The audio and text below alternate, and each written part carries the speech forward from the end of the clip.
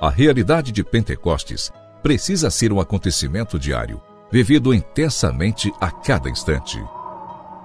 Pentecostes Diário, um programa que te ajuda a escutar a voz do Espírito Santo de Deus.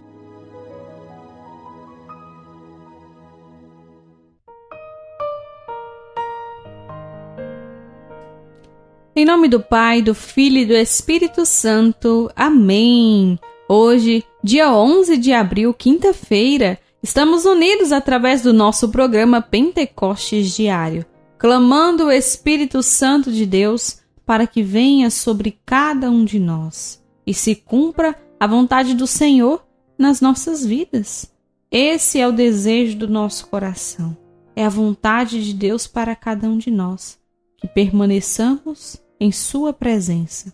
E nesta quinta-feira convido você tirar um tempo hoje e fazer a sua adoração, estar diante do Senhor Jesus. Como é importante isso para nós, para alimentarmos a nossa vida, para aumentarmos a nossa intimidade com o coração de Jesus. Por isso, busque hoje fazer esta experiência de amor. Pentecostes Diário. Pentecostes Diário. Meditação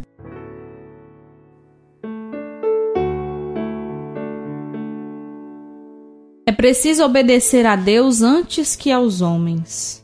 E disso somos testemunhas, nós e o Espírito Santo, que Deus concedeu àqueles que lhe obedecem.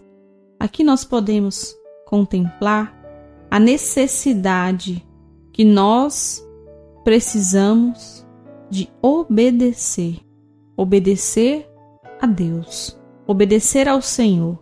Porque ele diz que é preciso obedecer a Deus. E, a partir dessa obediência a Deus, sobre nós é derramado o Espírito Santo. E o Espírito Santo é concedido àqueles que são dóceis e obedientes à voz do Senhor. O Senhor que fala conosco através de muitas formas. Fala conosco através deste programa, através da Sagrada Escritura, através da homilia do sacerdote durante a missa, através de uma canção. O Senhor que fala conosco em todos os momentos. E quantas vezes nós não percebemos a presença do Senhor, não percebemos que o Senhor está querendo falar conosco, estejamos atentos para ouvir a voz do Senhor e obedecer aquilo que Ele pede a cada um de nós. Pentecostes Diário. Oração,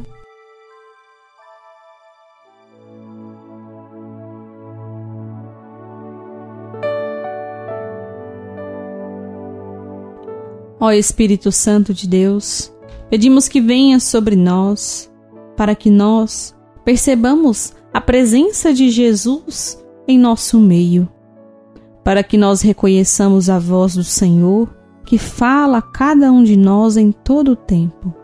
Pedimos, Espírito Santo, vem em nosso auxílio para que assim, ouvindo a voz de Deus, obedeçamos e façamos a sua santa vontade.